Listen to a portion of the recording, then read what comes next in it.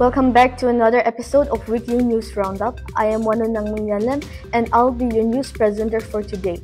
So diving right in are the top stories I have collected from September 16 to September 21, 2023 from the Morning Express, the Nagaland Post, and the Indian Express.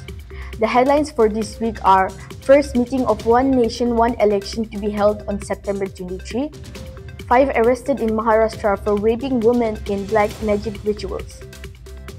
Parties push for passage of Women Reservation Bill in Parliament session. Karnataka's sacred ensembles of Hoysalas inscribed on UNESCO World Heritage List. Sao Chang's College hosts Faculty Development Program. Now the news in details. First meeting of One Nation, One Election to be held on September 23. Former President Ramnath Kovind, who chairs the One Nation, One Election committee on Saturday, said that its first meeting will take place on September 23. The former president confirmed the development to the media. The meeting will take place a day after the conclusion of the five-day special session of parliament Earlier this month, the center had announced that an eight-member committee has been constituted to examine one nation, one election concept. The committee will look into the feasibility of holding not only the Lok Sabha and Assembly elections simultaneously, but also polls to municipalities and panchayats according to the Gazette notification. Five arrested in Maharashtra for raping women in black magic rituals. Five people were arrested in Maharashtra's Palghar district for allegedly repeatedly raping a 35-year-old woman for several years as part of a black magic ritual.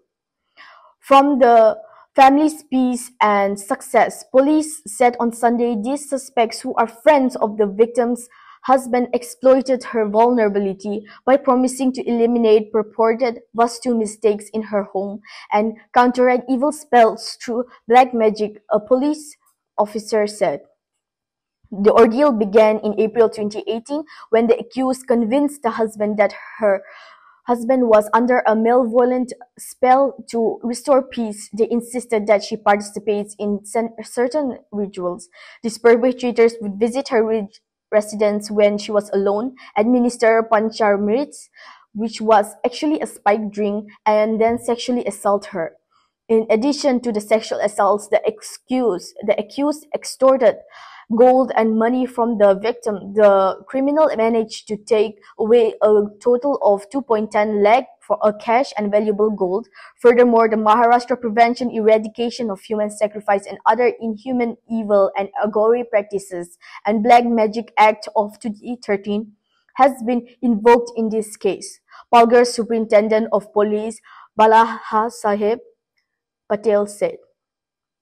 Parties push for passage of Women's Reservation Bill in Parliament session. The government on Sunday said that an appropriate decision on the Women's Reservation Bill will be taken at the right time. Parliamentary Affairs Minister Pralhad Joshi, after an all-party meeting on the eve of the special session of Parliament, said that an appropriate decision on the passage of Women's Reservation Bill will be taken at an appropriate time. The customary all-party meeting was called by the government on Sunday on the eve of the special session of parliament, where floor leaders of all parties were present. During the meeting, opposition parties by, led by the Congress sought passage of the bill in Lok Sabha. Leaders of the Congress in Lok Sabha, Adhir Ranjan Chaudhary, said after the meeting that all opposition parties demanded the passage of Women's Reservation Bill during the special session.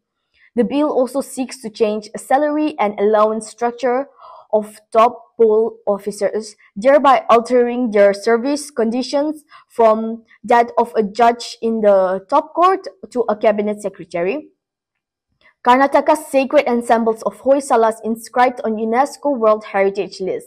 The sacred ensembles of Hoysalas, which include three temples in Karnataka, has been inscribed on the UNESCO World Heritage List. The Hoysalas temples, as they are also known, will be India's 42nd UNESCO World Heritage Site. On Sunday, Rabindranath Tagore Niketan, the university town in West Bengal also included as a World Heritage. The announcement was made by the agency in Riyadh, Saudi Arabia, where the 45th session of the World Heritage Committee is being held till September 25. India submitted the nomination dossier for the sacred ensembles of the Hoysalas to the World Heritage Center in January 2022. The site has been on UNESCO's tentative list since 2014. The Archaeological Survey of India said after the announcement, the Hoysalas temple built in the 12th and 13th century by the Hoysala king are dedicated to Shiva and Vishnu. The three temples include the Chennakeshava temple, the main temple in the complex at Belur, Hassan district, located at center of traditional settlement, which is surrounded by the remnants of a mud fort and a moat. The Hoysaleswara temple at the bank of Dwarasamudra tank in Halebidu district Hassan district, a town which has many protected and unprotected temples, archaeological ruins and mounds, and the Keshava temple at the center of Somanathapura village, Mysore district. The monument testifies to the creative genius and technical expertise of the Hoysaleswara architects and art over stone carvings, a skill that remains matchless, the richly experiential and visually astounding temples that build demonstrate their creativity in translating religious beliefs and stories into sculpture. Minister of State for Culture Meenakshi Lekhi tweeted. Sao Chang College hosts Faculty Development Program. Sao Chang College SCC Tuensang conducted national level online faculty development program on COPO designing, mapping, attainment methods, and continuous internal evaluation from September 11 to 15.